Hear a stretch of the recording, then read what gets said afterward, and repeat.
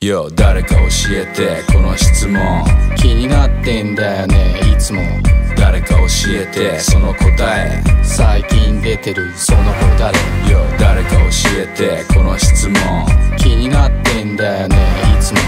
誰か教えてその答え。最近出てるその子誰？知られたくないような暗い恥。切り売りされてくプライバシー。見せられた方はいだし出された本人も辛いらしい。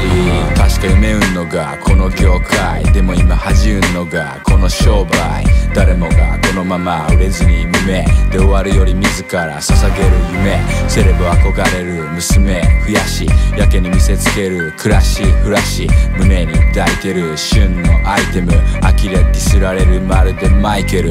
持ち上げといて引きずり下ろす。頂点にさせどん底落とす。消費されてる多くの才能。消えてく世当たり上手じゃないと。特に今誰もが数字の奴隷。番宣しまくって数字も取れ。なぜかそういうのもてはやす。スポーツ紙。週刊誌嘘つき。侮辱し。それまた報道し。話題性。みんな騙されてんのって。若いせい。別に腹いせってわけじゃもうとない。でもただの想像と思うかよ誰か教えて。この質問。気になってんだよねいつも。誰か教えて。その答えてるその子誰よ誰か教えてこの質問。気になってんだよねいつも。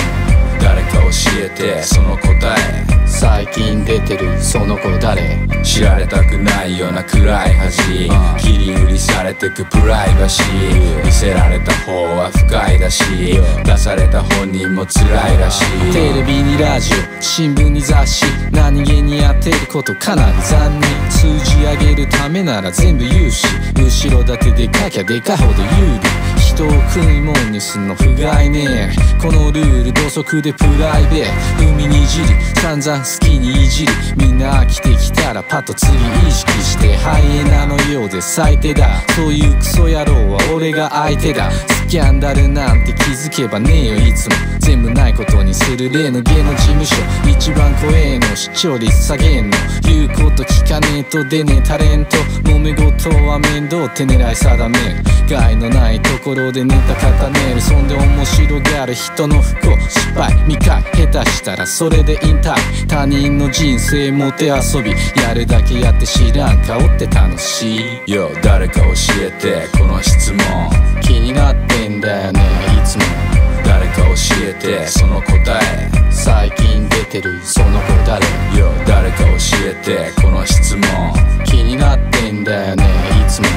誰か教えてその答え。最近その子誰？知られたくないような暗い恥。切り売りされてくプライバシー。見せられた方は不快だし。